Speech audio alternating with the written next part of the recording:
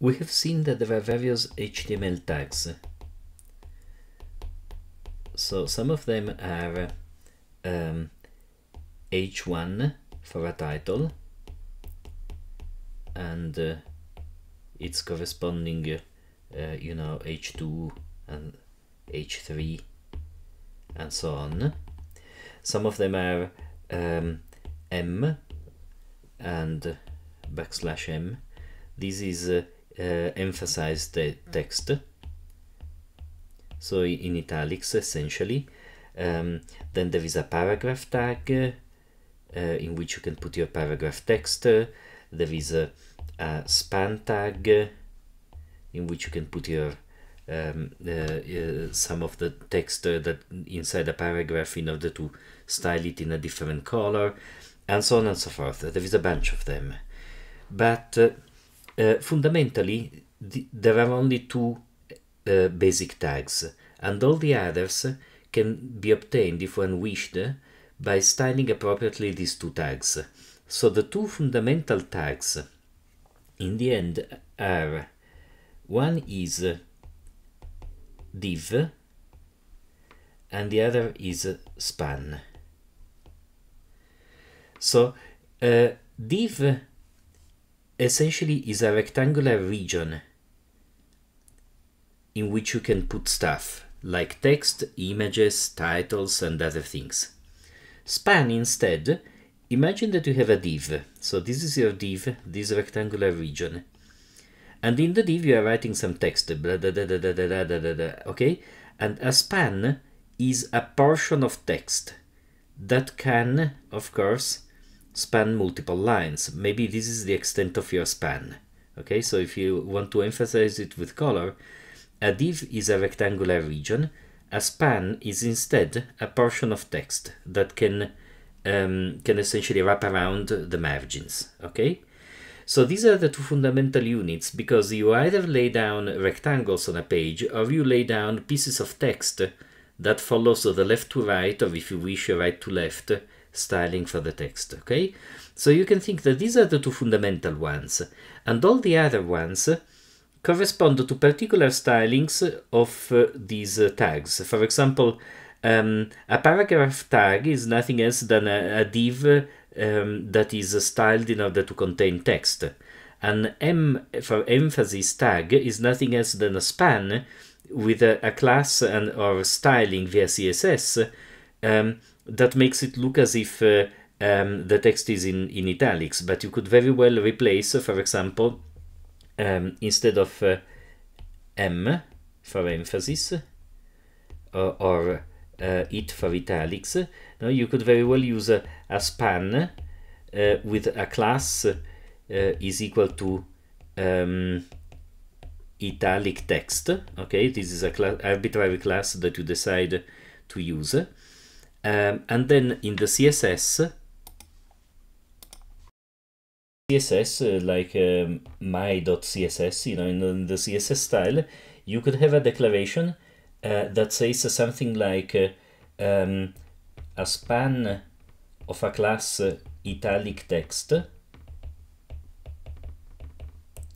okay has an attribute that is uh, um, font style font style italic okay so there are very many font uh, stylings available you can choose uh, the font uh, family for example whether uh, whether it has a um, serif or sans serif, uh, which kind of font you use, which what is the weight of the font, whether it's normal, semi-bold, bold, medium, whatever. There are various choices, and so. Um, by the way, here I made a mistake. This is not it, it for, for italics. It's just I, okay, and the closed is I. Um, but so um, the basic ones is span, uh, is span, and many of these other ones you can just obtain them by styling appropriately span and div. Which brings us uh, to the structure of a page. So imagine that you write a web page. So you may write uh, um, a div uh, that is closed some below, right? Um, and inside the div you may write a paragraph and close paragraph and then here you can open another div uh, that closes here. Um, and inside here you may put uh, um, I don't know a, a, paragraph. I just want to make a simple example with a with a span inside. Uh, end of the span. Okay end of the paragraph. Um, and here we may have another div okay? Uh, and here the div, this div closes so imagine that this is the start of your web page. The way it's internally represented is via a tree. So let me add a moment colors here. Uh, we can have this as green um, this as yellow uh, these as uh, violet uh, um, that sorry this uh, another shade of violet. And so there is a tree that corresponds to these right? That has this node at the top this div at the top right? This the one that has a corresponding color. And inside these if you look there are in sequence three nodes okay there are uh, first a p node for the paragraph then a div node for the first div and then another div node. And if you want to keep the correspondence with the colors um, this would be you know the p and uh, the div is uh, the first is violet and the second is the darker shade of violet right and if you go on inside of the first p there is nothing. Inside of the second div there is a, um, there is a p. And inside of the p there is a, span okay?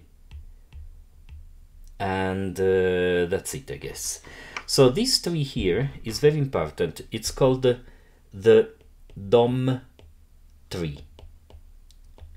DOM stands for DOM means document object model. Essentially, the web page is a document and the DOM tree tells you how the document is organized logically. So you write down uh, the tags with opening and closing tags and HTML, right? But the logical organization is given by the DOM tree. So there is a hierarchical organization, obviously, in a web page. Now this DOM tree is available to you if you have a browser. If you right click on a on a anywhere on the page, you can say inspect element, and that will show you the DOM tree and the characteristics of the element you have selected. So you can essentially inspect the DOM tree quite easily. Okay, and the DOM tree is, is important because uh, later on in the class, we will be able to modify the DOM tree from the program, from JavaScript essentially, and in that way we will modify what is rendered on the web page. So the DOM tree is also used to lay out the web page. So let's look at uh, how what the browser does. Okay, it has this DOM tree. What does it do? So imagine you have a document, right? Uh, what does it do? Well, it tries to figure out first how the various leaves are rendered okay? For example uh, let me uh, skip the span. Let me consider this p right? So there is a p and maybe in the paragraph you have written uh, like uh, um, i love uh, uh, coffee. Okay? Actually let me move it down a little bit to leave more space. Oops sorry.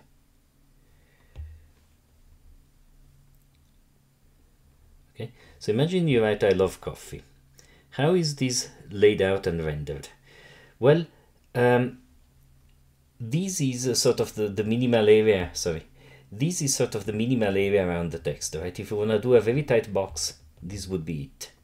This is determined really by the text that you're rendering, okay, by the line height and the character size, etc. So around these, there is gonna be some uh, some space that is called padding okay so the padding goes around the true content of, a div okay assume it goes uh, you can choose whether the up down left and right padding is uh, um, amounts Uh, let me assume here that they're the same. Okay, so this is a padded piece of text. Okay, now there is after this there is a border that can have you know also thickness zero, but it could have in general some thickness. Okay, so this is the border size. And so this is the object itself, right? It has a content, uh, some padding, and then a border. When you put it together with other objects, it will not necessarily go right against the other objects, right? There is outside of the object itself, outside of the rectangle denoting the object itself, there is something called the margin, okay? And uh, you can define these elements, okay? And so this is maybe the margin as we have defined it. You could, uh, you know, it doesn't need to be the same in all directions. Here you may have defined a very big right margin, for instance. So when uh, the browser um, uh, looks at your HTML, it builds the tree corresponding to the HTML, and then it tries to lay it out by trying to figure out uh, from the leaves upwards how big each recta rectangle is, or each span of text is, and how they are going to be organized in the page. That process is what happens in the browser where when it reads the HTML and then renders it.